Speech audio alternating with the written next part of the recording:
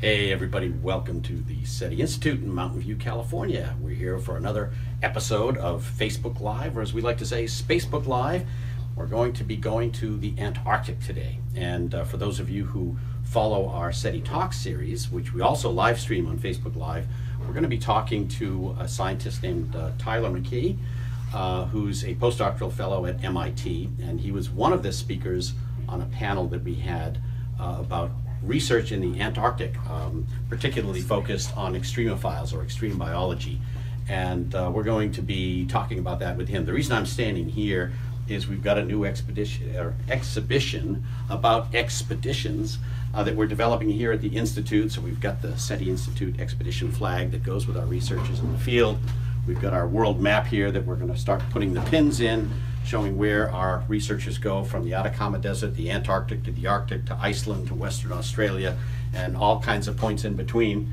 Um, this, in fact, is uh, Dr. Nathalie Cabrol's diving suit from when she was doing diving in, in this region here. This is actually at the top of a volcano, 6,000 meters or 20,000 feet up in the Andes Mountains in Chile.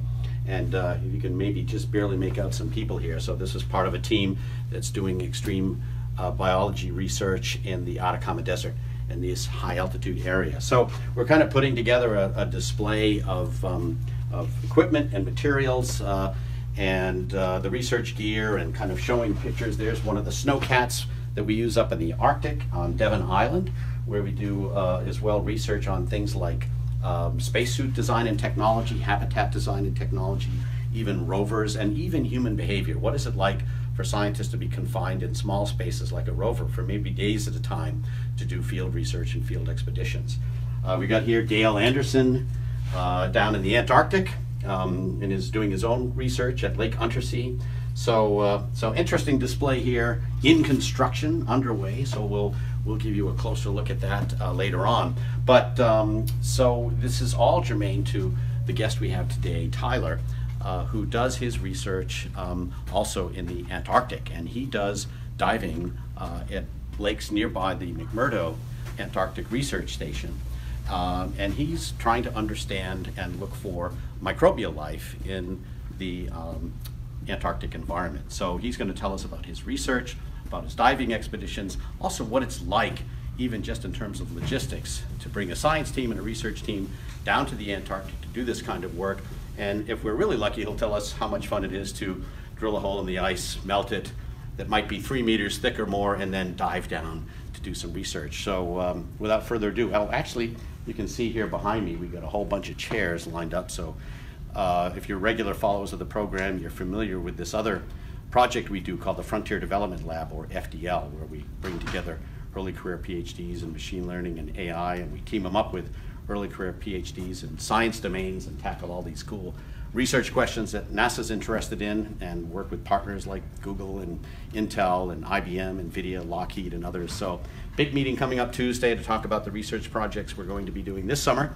So that's why we've got all the chairs here. But equally, we've got uh, Tyler sitting here ready to go and uh, take us to the Antarctic. So how are you? Doing well. Good to see you again. Good to see you. Thanks too. for coming. Thank you for having me. Yeah, glad to have you here, and it was great again uh, having you do the SETI talk over at SRI. Oh yes. That was really fun. I hope you enjoyed that. It was great. It was good. So, um, talk to us about microbes in the Antarctic. Uh, some people might even be surprised to learn that there are such critters, and you know what are they doing there? Why are Yeah. they there? What are the conditions um, that they're dealing with, and how have they adapted? And all, you know, all kinds of stuff. I mean, you could probably talk about this for days, but we'll we won't take that much of your time. No, and I won't subject you to that. Right, right, right. no, it's it's really a continent that is a beautiful microbial landscape. Mhm. Uh, when we think about Antarctica, I think it's easy to just imagine the penguins and the, the seals on the coast. But once you go inland, uh, away from the ocean, it really is a microbial continent. Yeah. And so the uh, the way that the microbial communities are structured there really depends on what energy they have available. Mhm. In the lakes that I'm working in, most of the uh, ecosystem is anchored around the availability of light. So they are they're photosynthetic microbial communities. Mhm. Um, but if you go deeper into the subsurface of uh, some of these ice-covered lakes, uh, specifically ones that are under much thicker ice than the ice-covered lakes I'm uh, diving in. Uh, but glacier-associated water bodies, there you are uh, no longer able to access sunlight, so you have to make your living on chemical reactions. So I think So you still, so you still find microbial life, life in those environments where it's, is it no longer photosynthetic then? Right, and it's a much more uh, marginal ecosystem. So that's Okay. uh, generally not giving the same beautiful structures that I'm I'm interested in. So I focus on areas where you have these uh, more luxurious growth of Mhm. microbial communities, and on Earth in modern that requires sunlight usually. Yeah. Now, when you talk about a microbial community, and you talk about like Antarctica. I mean, you look here and I see a field of snow Yes, and ice and an airplane sitting on it. is there microbial life as well in the snow and near the surface, or is it really only in these regions where there's you know liquid water or? Yeah. Um, Yeah, so there there definitely is no uh, microbial. There is microbial life on the surface as well, but it tends to be a little bit more restricted. So if you crack open a piece of sandstone that's sitting on the surface, often you'll find just a thin veneer of color underneath there, Yeah. which is the pigments of of these photosynthetic communities. okay, I've seen those Um, pigments yeah, in the Atacama yeah, actually. Exactly. Yeah. And also, if you turn over a quartz pebble, Right. um, there might be a microbial community growing underneath of that surface as well. Mhm. And so, anywhere that there's some shelter, there's liquid water, even if it's not much liquid water Mhm. or very regular liquid water, uh, there are microbial communities growing. So clearly, you're interested in the microbial communities in and of themselves, characterizing them, Mhm. understanding them. But are, is your work also about informing us how we go looking for them and where we should go looking for them if we're going to places like Europa or Mars or Enceladus, yeah, et cetera? It, it really is. I think one of the main issues that we have with microbial communities, and this, in particular the, the record of ancient microbial communities, is that it's really hard to tease apart what is just sedimentation without life and what is sedimentation with life. Mhm. Uh, because we don't want to go to Mars, look in a, an ancient lake deposit, find something that kind of looks like microbial life, Mhm. and have a false positive. Yeah. Say that we've identified life, but this isn't actually the only way that this feature could form. Yeah. So what we're doing is creating a catalog of these larger scale features that microbes can form and trying to associate with both the environmental conditions under which they form and the activity of the microbial communities to back out what is actually uh, a diagnostic signature of microbial life here. Mhm. And also looking at the chemistry of those to understand that. And how diverse is that microbial, you know, biology? Uh, it- how- what's the biodiversity like in, in these areas? So it, it can be a very diverse community. It's uh, one of the things that structures diversity here is what sorts of chemistry are available to uh, have different metabolisms cycling energy through the system. Uh, and depending on on the lake, depending on the ecosystem, that can be uh, more limited in Yeah. Antarctica. Some of the lakes uh, have uh, less uh, potential metabolisms than we would say find in the ocean, Mhm. um, just because the chemistry is is different. Um, it's also climates and ocean Yeah. water, or are they really adapted to this specifically or a particularly cold climate? Yeah, I think in these lakes in particular, they're more cold tolerant than they are cold loving. Uh-huh, Uh, okay. So if you were to grow them, their optimal growth conditions can be quite a bit warmer than where we find them. I see. In fact, some of the closest analog communities are found in Lake Huron in Mhm. uh, in North America here, Yeah. where it certainly is not an ice-covered lake. But uh, these lakes are actually some of the more temperate environments in Antarctica to begin with. They Yeah. are uh, relatively consistent temperatures year-round. Some of them have solar heating that raise the lake level, the lake temperature is significantly above freezing. Uh, so sometimes up to room temperature here in the most extreme settings. Is there any subterranean um, heating? I mean, is there something underneath these lakes as well, either in terms of um, warm water that's being fed from, you know, aquifers deeper down, or, or other sources of energy besides the, uh, you know, the sun? Right. So in these, in the lakes that I'm working in particularly, there aren't. Uh, that was one of the original ideas about why we have 70 degree Fahrenheit water at the bottom of an ice covered lake in Antarctica, it's easy to assume, oh, there's a hot spring there. Right. Um, but uh, studies uh, in, I think in the 70s, drilled down into the sediments underneath the lake and found that it got colder again as you went deeper. Okay. Showing that it was actually a local heat source in the depths of the lake, which is where you have the sunlight heating up the water. And if you're deep enough, it's not going to be in contact with the ice cover on top. I So see. you're really So isolating. it's an isolated little layer. Exactly. And it's 70 degrees Fahrenheit It in is, some cases. yes. That's unbelievable. That's like bathwater. I know. Unfortunately, it's deeper than we're ever diving, so Uh-huh, we okay, don't so quite you're get not a tropical enjoying that. vacation. Yeah, yeah. Although, So that- like how deep is that, are those kind of warm layers? Uh, let's see. It's probably around 150 to 200 feet depth, Okay. so it's quite deep. In general, how, uh, how uh, deep are the lakes that you're diving? So the lakes are. I'm doing like conversion between meters, Meters and and feet. feet, here. So. yeah, uh, If, he- if he says meters, divide by three exactly. roughly. That's yeah. okay. Uh, so it's the lakes themselves can be well over 100 feet deep. Mhm. Um, the areas that I'm most interested in, though, are where enough light penetrates that you have photosynthesis taking place. Yeah, yeah. So in some of the lakes, that's as shallow as like maybe 20 to 30 feet is the depth that you have the extent of photosynthesis. Other lakes that goes down well over 100 feet depth. Mhm, mhm. So um, depending on how clear the ice is, how much sediment is there, can really structure whether or not the ecosystem undergoes photosynthesis. Okay. Now, you know, a lot of people may be even surprised to, to hear that there are lakes. Yeah, yeah, in that's true. Antarctica, right? That's Because you true. can't normally see them. They're covered by snow and ice. I think a lot of folks actually think of Antarctica like they think of the Arctic, like it's a polar ice cap. Right. Uh, and forget the fact or don't know that actually there's a continent, a landmass underneath. Yeah. Um, maybe, uh, yeah, if you've got I'll uh, navigate to a couple of pictures here that Yeah. show that off. But uh, so are there? Um, how, I, I suppose we probably haven't discovered nearly a fraction of all the lakes that are probably there under the ice and snow, or perhaps we have through radar and other technologies. Um, yeah, we're we're getting to learn more about about the aquatic nature of Antarctica, and I think we have a pretty good sense of how water operates in areas that are polar deserts, like this image that I'm showing here. Mhm. This is. Are you uh, able to click over to the image now? Yeah. Yeah, great. This is uh, our camp at uh, the shore of Lake Joyce in the Dry Valleys of Antarctica. And I think you'd be hard pressed to find the lake here. First of all. Exactly.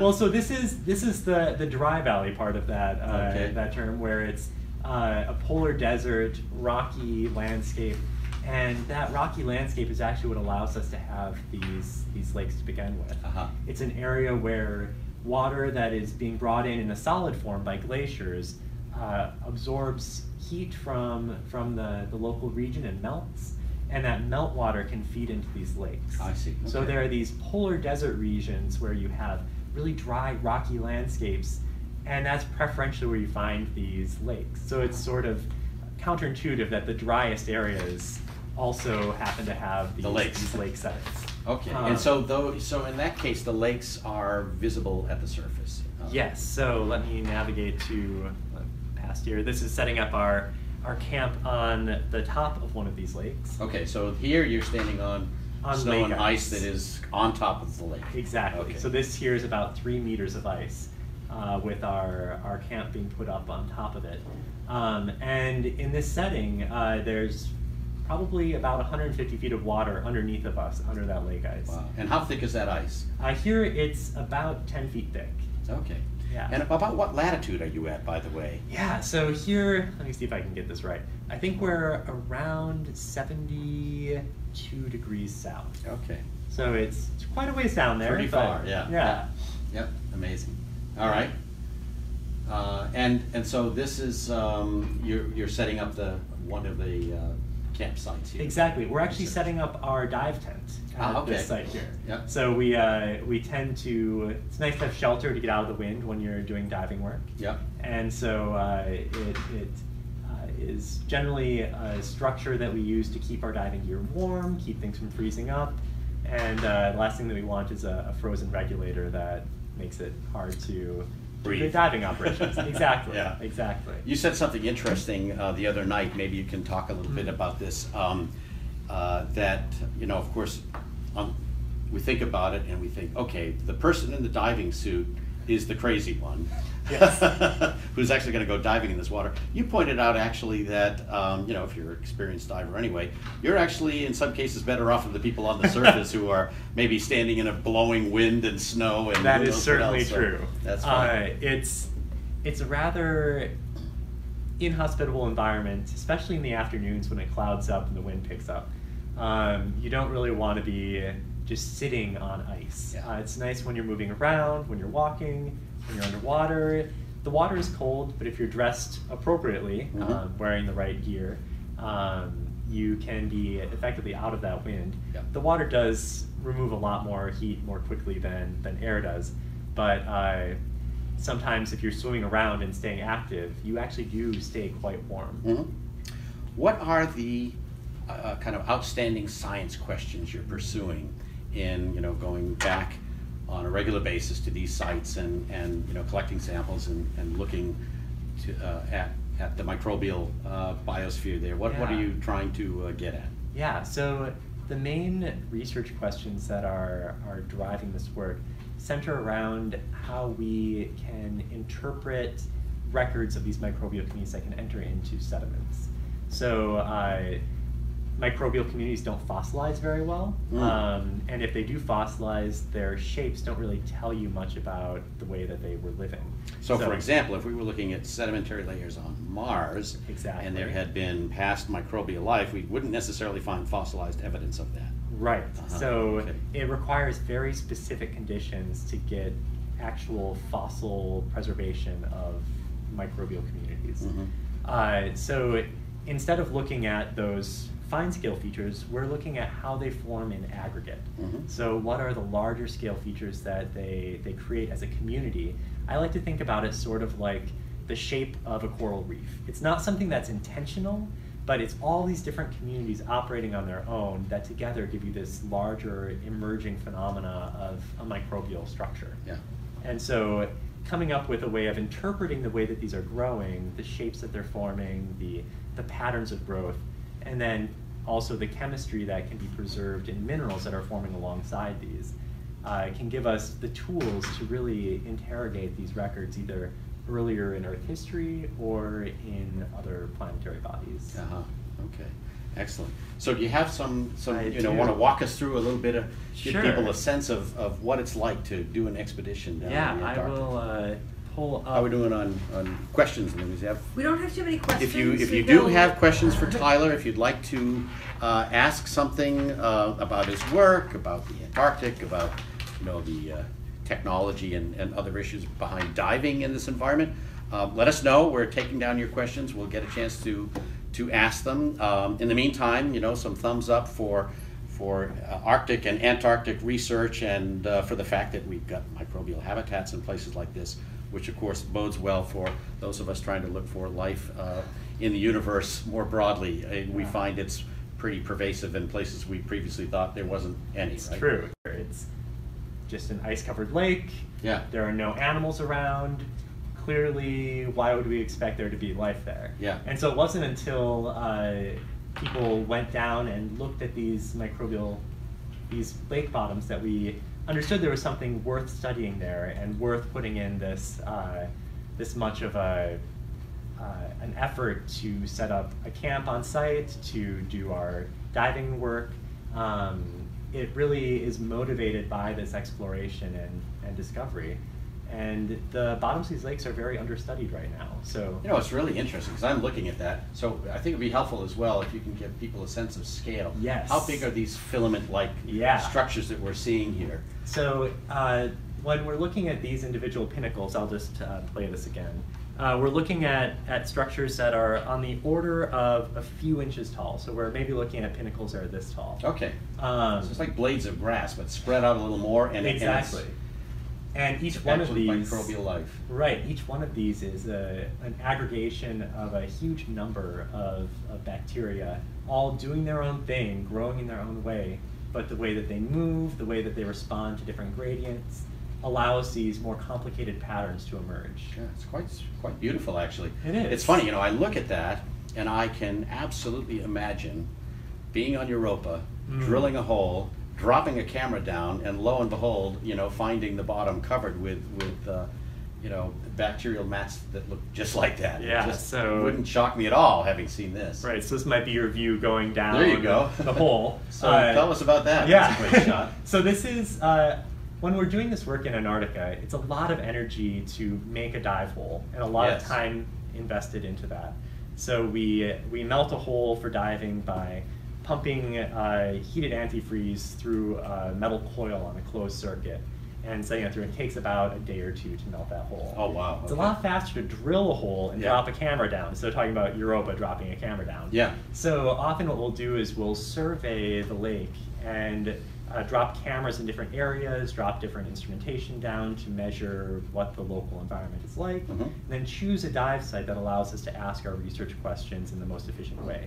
So it's, it's actually very similar to uh, some of the mission architecture for exploring Mars, say, where you have uh, orbiters that come and give you this contextual information, and then you choose a landing site that gives you all of the types of data that you really want to capture. Yeah. Here we're doing it with holes drilled through the ice. So this is uh, uh, the downward-looking view of the camera as we're lowering it. The two lasers are uh, 10 centimeters apart for a scale, I see, so that when we're looking at the bottom of the lake, we know are these pinnacles How big they are. exactly a foot Okay. tall? Yeah, Are they a yeah. couple inches? Oh, that's Um, clever. And it gives us a way of, of previewing this environment. So, but this is a drilled bore with borehole. It is. So, but if those are ten centimeters apart, so the hole must be actually pretty good size. It is. Um, I have a, a video here I will pull up of drilling one of these holes. Oh, great. Um, let me make this a little bit larger. Um, but it's it's not trivial to drill a hole. It's a lot less work than than diving and making a dive hole, but it is a fair bit of work. This is uh, very much sped up. Um, but we use a jiffy drill. It's the same type of drill that you'd have when uh, drilling an ice fishing hole. Uh-huh. Um, and once we get through the ice, we uh, unclip the, the drill head, then we remove our flight. Oh, look at the size. of- drill. Whoa. So it's uh, it's a lot of ice to drill through. My goodness. Um, and we drill it uh, meter by meter. Yeah. Every meter we go down, we stop. We put on another Add flight. another- oh my- drill down another meter. Right. And so it's it's uh, an intensive process, but um, gives us some beautiful windows into what's actually happening at the bottom of the lake. Right.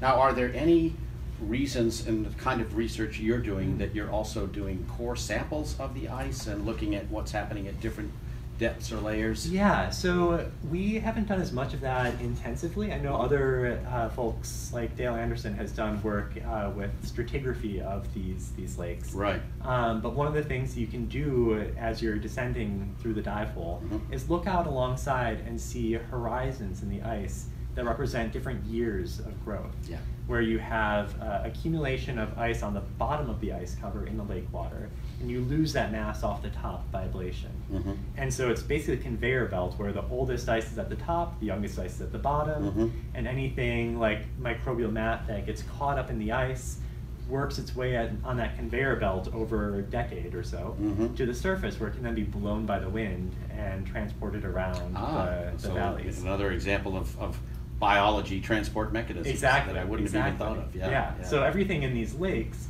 uh, generally there's been a filter on who can colonize environments in Antarctica. Mm -hmm. It's who can be freeze dried and blown around to recolonize and recolonize wet someplace spots. else. Yeah. Fascinating.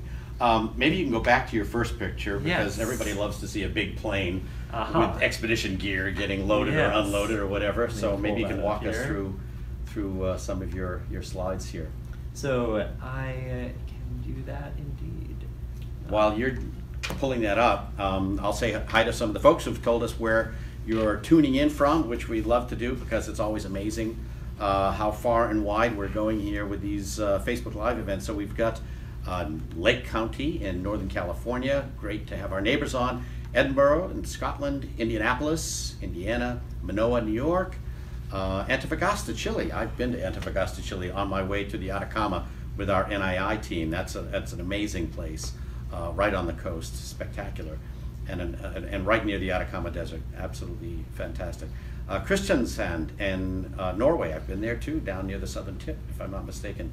Florida, we've got folks on uh, from Charleston, South Carolina, from München in Germany, and Huntsville, Alabama, Boulder, Colorado, Melbourne, Australia. we've got the Australian Opens coming to a close there. Uh, Delta, Ohio, Budapest in Hungary, uh, Mobile, Alabama, Crowley, Texas, uh, Sao Paulo in Brazil, Thunder Bay, Canada, Dallas, Texas, London in the UK, Catonsville in Maryland, and uh, Walnut, California. There's a Walnut, not just a Walnut Creek. I know Walnut Creek. I don't know Walnut. They forgot the creek. They don't have a creek. And then Hope, British Columbia in Canada. So just a few of the places that you're joining us from. So thank you for joining us from far and wide, and especially those of you in Europe and elsewhere staying up late to uh, to meet Tyler. Very cool. Yes. So. And Um, I have a less charismatic photo to start here. all right, let's talk about the less charismatic stuff. That's this is still indicative of our uh, experience going to Antarctica. This Yeah. is my view from the seat uh, on the flight down to Antarctica. Is that right? So Yes, you're not we in are business cargo. class. we are cargo. Is that true? And there are pallets of field gear that are all stashed on the front panel in front of us. And you're hoping they don't come loose.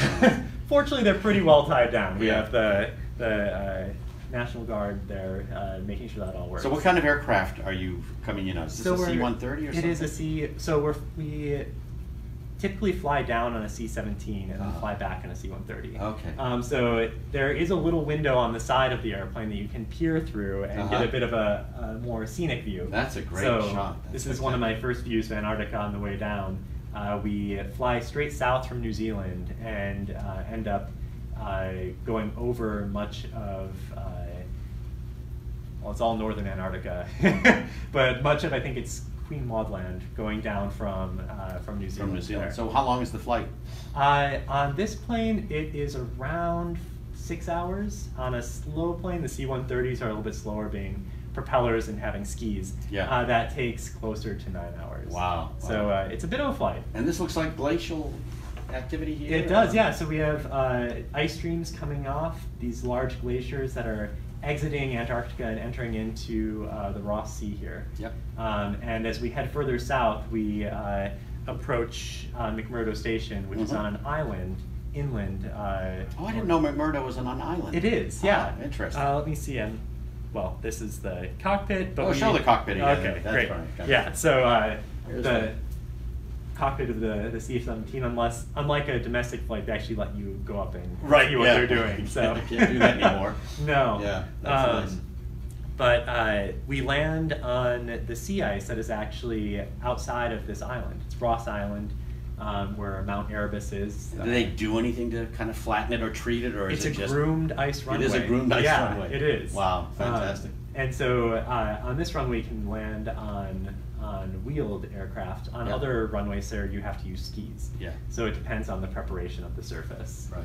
Um, Now, how big's the team that you're part of here? so uh, typically we've been between three and seven people in the field at a time. So we're pretty small tent camps Yeah, yeah. Um, setting up there, and we're uh, spending all of our time out in the valleys. So while we are uh, going through McMurdo Station to set up our camp, we then helicopter out to the dry valleys and are there for the duration of the field season. Okay. And then how far is the landing strip from McMurdo Station? Uh, so d- it depends on which one you get to go to. Mhm. Um, when they have the near runway, it's a fairly short ride, but um, when they put up the big sea ice runway later in the season, it can be about an hour ride across the ice. So they're not coming in Uber Prius cars. What are, what are No. you uh, heading back to McMurdo in? Uh, I have a picture Ah, here, there you go. actually. Yes. great. Uh, so uh, they have very large people movers that they take you in. Wow. One of which is Ivan the Terrabus. I so like that. puns exist. Ivan the Terrabus. Yes, puns Okay. exist even in Antarctica, maybe especially there. But you can see people standing next to the wheel there for scale, Uh-huh. um, and it's it's a bit of a an epic entry into the, the continent when you land on ice and are welcomed by these these large vehicles. Ivan the Terrabus. And so um, the others with you on that aircraft then are presumably part of other expeditions, other Yes. other research Yes. programs going on. Exactly. So it's a it's a flight that also shares with other national Antarctic programs in the area. The New Zealand Antarctic Program shares with the U.S. in their logistics. Um, I think there's a, a French base down there as well. So it it actually attracts a lot of different nationalities that can share in that experience. Um, I think I even have yes. the New Zealand program gets picked up by a slightly uh, smaller Oh. vehicle. Th- these are the Um, limos, I guess. Exactly, exactly. I spent uh, two seasons with the New Zealand program and three with the U.S. program, so Right, right. got to see how things are done on, on both sides of that experience. Um, So the New Zealand folks are treated with, in business class, and Exactly. we're, we're on buses. That's Well, there are much fewer of them. Their base uh, maxes out, I think, around 300 people, whereas the U.S. base is over 1,000 during the peak summer. Yeah, so it uh, is A lot of folks. different scale of operation. Sure, sure. Um, so that's a nice picture. that's McMurdo Station. Okay. Um, so that is looking down from uh, Ob Hill, it's called, which is uh, one of the hikes you can go on outside of the, the station. It's also where uh, Scott's crew went to watch for him coming back from uh, his ill-fated expedition to the South Pole. Oh, right. So it has a, a memorial on top for that uh, expedition. Interesting. And uh, in the foreground, there's this little spit that sticks out, and uh, Scott's hut is there from uh, one of. Can you move your mouse to that I to show can. Let people me. where? where Uh, there is a hut just right down here from one of the early expeditions. You can tour and see the artifacts that are there from from the early explorers. Interesting. Interesting. Yeah. Huh. All right. So- That's a that's a fabulous shot. Um, the weather isn't always that nice. Sometimes uh, hiking like is a little bit more of a of a slog, but uh, it's still well worth it to get out and see some of the Antarctic landscape. Now the daytime temperatures in McMurdo in the summertime are In the summer, peak summer can get well above freezing. okay. Um, and that's actually one of the least pleasant times to be there because the roads all turn to mud. oh yes. Um, So it's mud season. Yeah. Um, I I think the spring is late spring into summer is when it's it's generally that's when we are going through the base and Mhm. it's usually between freezing and maybe 10 degrees Fahrenheit. Okay. Um, so it's it's not as cold as it is in in the winter or early season. Yeah. Yeah. A little more pleasant. Exactly. Uh-huh. And so is that your typical uh, time slot? Is you, you aim for springtime? Yeah, Mhm. well, working on the lake ice in the dry valleys, if it gets too warm, they get really slushy. Yes. Yeah. So um, it becomes a lot harder to work there, and you can have pools that are maybe a few feet deep that you could easily fall into on the Right. lake ice, which, while you wouldn't fall into the lake proper because you still have 10 feet of ice underneath of that, it will get pretty soggy. yeah, yeah. That's not doesn't sound like fun. Not ideal. Great. Yeah. All right. Uh, let's see. Oh, there's audio on that one. That's uh, so this is uh, less pleasant conditions in Antarctica. Um, sometimes they uh, shut down uh, traffic by foot in the base as well, where you have uh, conditions such that the visual is limited between them, and you can't actually get out to walk from uh, from building to building. Mhm. So it's uh, the conditions can even be limiting on base more so than when you're in the field. Yeah. Yeah. Yeah. Uh, let me see what else I have coming on here. So in, in comparison, this is the New Zealand base, which is a much uh, smaller setting, but uh, definitely a nice a nice setup. Looks as like they went for the green decor. and sort of Exactly. Stuck it just with reminds that. you of vegetation a little bit when there's nothing else green on the continent. Sure. Yeah. Yeah. Um, but and I guess that's true. So even in the summer, uh huh. and even when the temperatures are rising a little bit above freezing, maybe for days at a time, you're still not really getting any green vegetation on the surface, or Right, not in this part of Antarctica. If you go up onto the peninsula towards South America, there you do have more vegetation. I see. Um, but it is still quite limited. Yeah. There are a few areas near here where there is moss Mhm. that uh, grows, but that's sort of like the Antarctic rainforest equivalent. Yeah. Just a few crusts of moss. yeah, Uh, yeah. Still a very exciting ecosystem. Yeah. So, uh, you know, there's a, there's a little critter that is becoming increasingly famous Uh-huh. for little critters, um, and that's uh, tardigrades. Yes, little yes. water bears. And if you've never seen one, you know, they I, I think the typical one is something like a third to a half a millimeter, so tiny, tiny little thing. But you look at them under a microscope and they look like little bears. They've got a little snout and they've got eight feet and so forth. Do you see those? Uh, They are present throughout. Yes, Really? they're in the lakes, they're in the streams, they're in the ponds. They are, yeah, they are present everywhere. Yeah, Um, They are hardy little little critters. They are. I mean, they they survive outside the space station Yes. for days or weeks at a time. They seem to be able to like hibernate even for decades or even longer, maybe even thousands of years. Speaking of things that could be very amenable to freeze drying and wind transport mechanisms in the dry valleys, tardigrades could easily hitch a ride on some some debris from one liquid water area to another liquid water area. Yeah, yeah. So it makes sense that they would be found throughout. Have you by any chance read the book, uh, The Three Body Problem? I have not. Okay, well, you've got to read that book, but Okay. one of the funny things or interesting things and interesting ideas about that is because of the dynamics of this Mhm. planetary system and its stars, uh, life has to go into long periods, like thousands or millions of years Uh-huh. of sort of hibernation. And, you know, reading the book, I thought, well, gee, that- you know, this doesn't sound like very viable.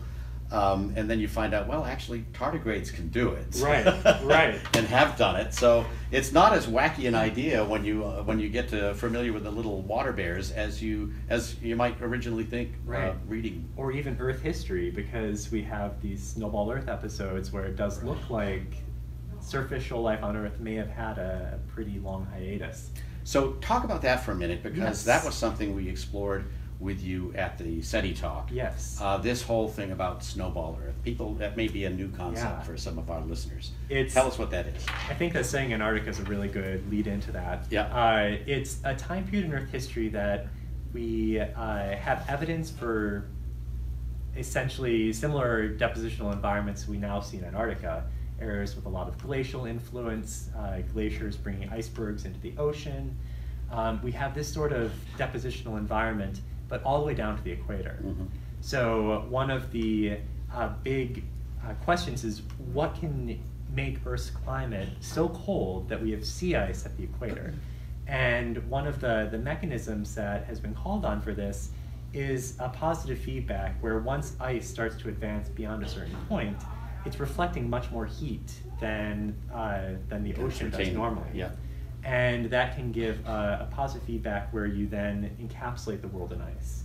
So there have been these periods where, where the Earth looked like Europa or Enceladus or something like that. tens of millions of years. It's unbelievable. And one of the questions though is how how hard was this was this snowball? Was it slushy? Did you have areas with liquid water still? Mhm. Or did you have such a strong positive feedback that you froze the entire oceans to a depth of maybe half a mile or more? Mhm. And so those are sort of the end members in this, but it does look like we had these very cold periods and uh, significant changes in Earth's climate associated with those. That life did make it through. Somehow. Exactly, Yeah. and it may even have stimulated uh, expansion of more complex life. So these are not what we typically think about and learned about in school as kids of the ice age. Right, Where, right. you know, you had the glaciers moving further south. These are periods of total, Right.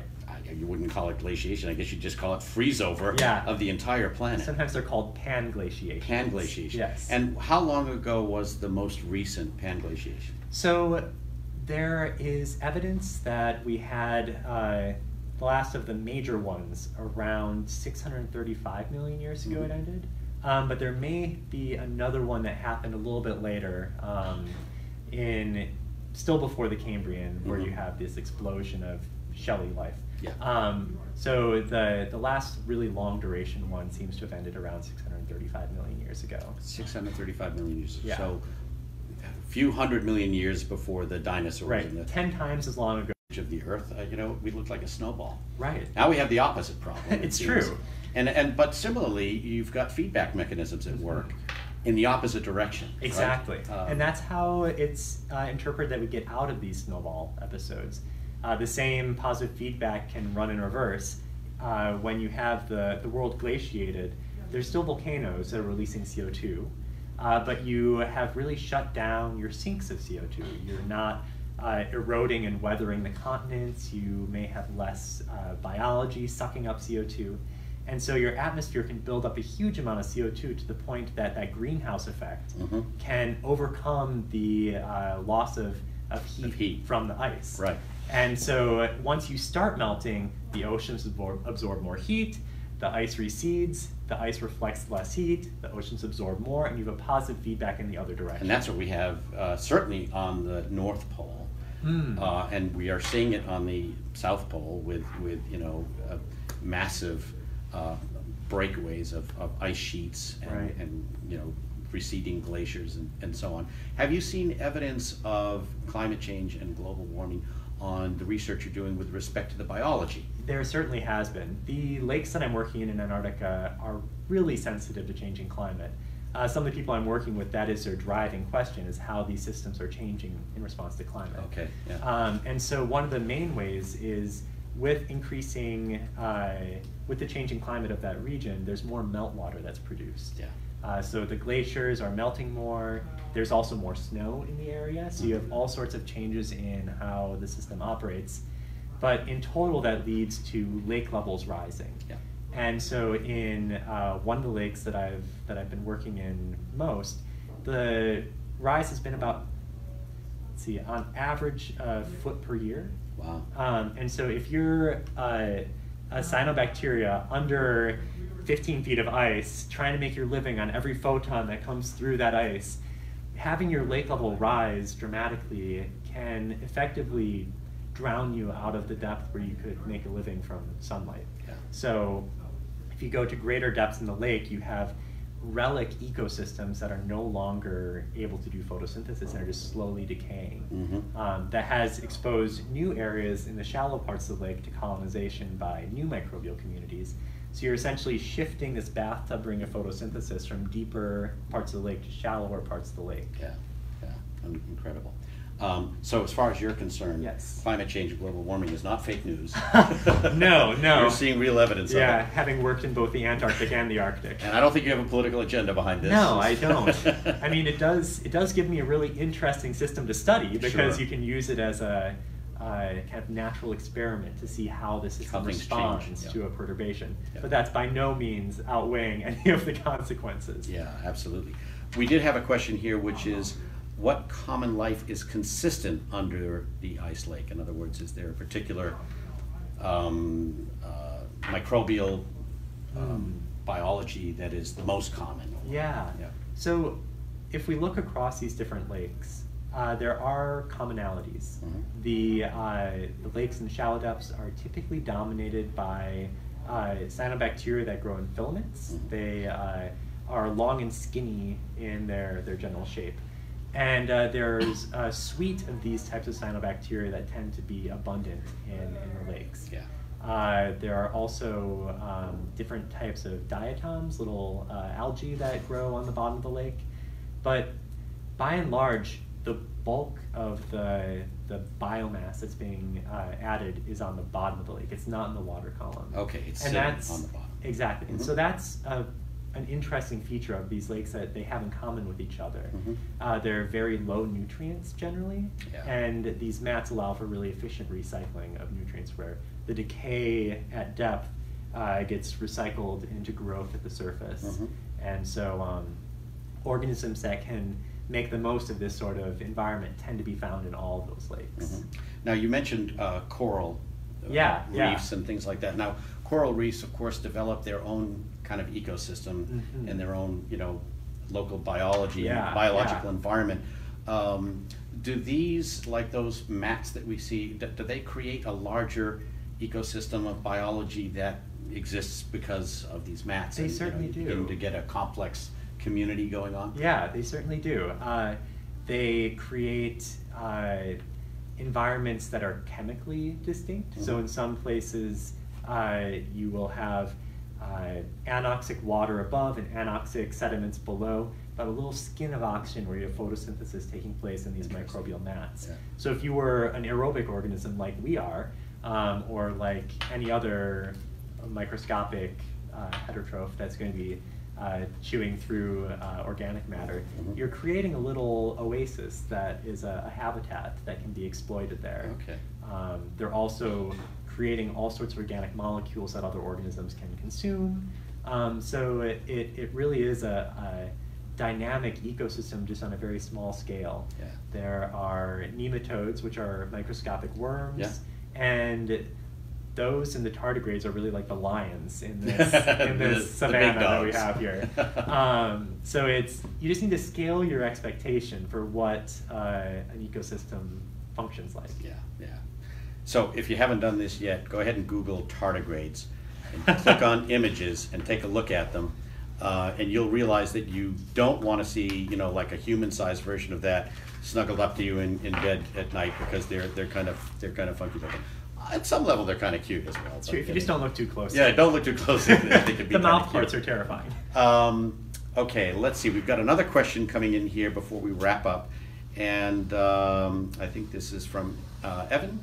It says, "Do you take any precautions not to cross contaminate uh, from one lake to another, or is that even a concern?" That's a great question. That is a big concern. Yeah. Um, and I think that it's actually uh, another learning experience we can have that applies to the search for life elsewhere is Mhm. uh, planetary protection principles apply in Antarctica as well. Mhm. Uh, we really try not to transport um, biological material from one lake to another lake or Yeah. one valley to another valley. Uh, we sterilize all of our diving gear, all of the equipment that goes into the lakes. Um, so we, we really do try to uh, make sure what we're studying and what we're working with Is belongs there. Right. Exactly. It, Yeah. it doesn't do you much good in an ecological study to bring the organisms Yeah. there that you want to study. And it's even more of an issue in these subglacial lake systems where there's so much less biology. There, everything that goes into the hole goes through an ultraviolet collar that destroys DNA. Yeah. And all of the water is purified, ultraviolet uh, processed before it goes in as well. Yeah. So, uh, depending on how biologically rich your setting is, you need to take different levels of precaution. If you need to destroy all DNA because Right. you're looking for traces of DNA, or if you just need to make sure there aren't viable organisms going into that to go lake. into that lake. Yeah. Yeah, fascinating. It's a great question, uh, very good one, and it's interesting because um, you know this whole issue of cross contamination, which has its own problems, but also scientifically it means Right. you know you're not really looking at something Right, right. something native. Um, you know, there's debate raging now, uh, as you're probably well aware. You know. w- w- m- Methane was supposedly found on Mars quite some Mm. time ago. Mhm. Now that's being raised into question by other scientists. I guess a European team has has done some other um, analysis from from I believe uh, orbiting platforms Mhm. where they're saying we're not seeing any methane. So the question becomes: Was the methane, you know, really like in the plastics or other materials on Oh. on the systems that detected it in the first place? So yeah, there's a great great issue of how important it, you know, things like cross contamination. are. Right. So what's in in this picture? Um, Ah, so it looks like you're making igloos. Yes. Well, so when you're doing field work in Antarctica, they want to make sure they're not going to send you out to a place where you are ill prepared. Uh-huh, that's- so there's actually helpful. a snow school associated with U.S. Antarctic Program. Oh, that's great. Where you go out and learn to set up all the tents. You build a snowball. It's a little bit less appropriate for the dry valleys where we don't have snow uh, in terms of the training. Right. But it is a really good familiarization with your cold weather gear, making sure that you're actually able to be in a safe space personally so you can do your science. Mhm. It's uh, there are a lot of confounding factors doing field work in an extreme place. Sure. Just like in space. Yeah. Where you can be very task loaded just in keeping yourself all right. Right. Um, well, you know, I'm, I'm as fascinated talking to Dale about Yeah. the logistics Yeah. and you know physical aspects of, of his field work in, in Lake Untersee as I am about you know the science that's being done. That's pretty interesting. Yeah, and you really have to that gets built into uh, operations in Antarctica. These are called uh, they're Scott tents Uh-huh. after Scott. Yeah. Um, it's uh, basically modification of that design that they used to do their polar expeditions, Mhm. and so they're really durable, have a lot of anchor points. They can survive very high winds. They're not light. Yeah, um, but like they're heavy these, canvas, These big, heavy canvas tents with uh, big, strong poles that you can uh, very securely anchor. And in our uh, our camps now in the dry valleys, they're most often used as our toilet tents. Oh, interesting. So they're not quite the glamorous uh, a tent that they once were, but they're the, the workhorse that you really don't want to fly away. exactly.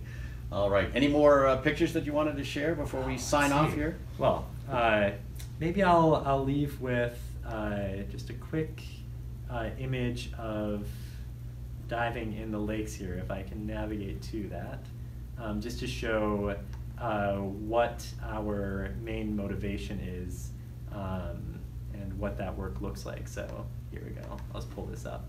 So this is sort of the end result of all of this work is getting us to the point that we can enter into these lakes and and do this science. So this, this is what you've been waiting for, folks. So I know. Sorry I'll to leave on- I'll leave keep on a high you waiting so long, but this is this is what you wanted Yeah. to see. So we've flown to Antarctica, we've gotten geared up in McMurdo, we've helicoptered to the dry valleys, and now we have made a hole that we can uh, enter into the lake and explore uh, this microbial landscape. Go ahead and I'll run that pull up, again. Uh, I'll pull up a continu- continuation of that. Ah, okay, actually, great. Where we can uh, show the. Oh well.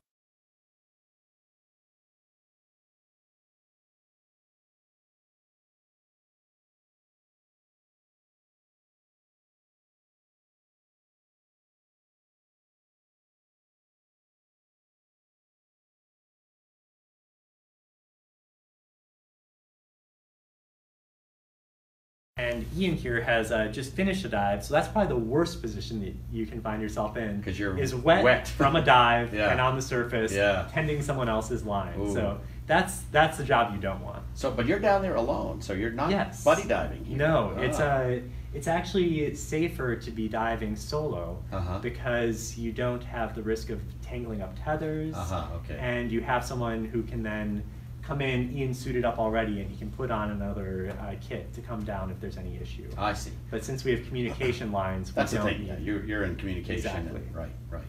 But you need special helmets that allow you to have Yes, the communication, the yes. radio work, and uh, yeah, fantastic. Yeah. Wow. Well, Tyler, thank you so much. Oh, this thank is you very very much. cool, literally and scientifically. uh, and so I hope you you all enjoyed that, and thank you for for uh, joining us today.